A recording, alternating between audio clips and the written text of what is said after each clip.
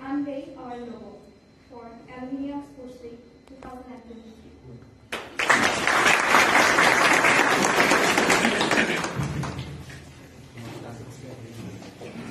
Thank you, sir.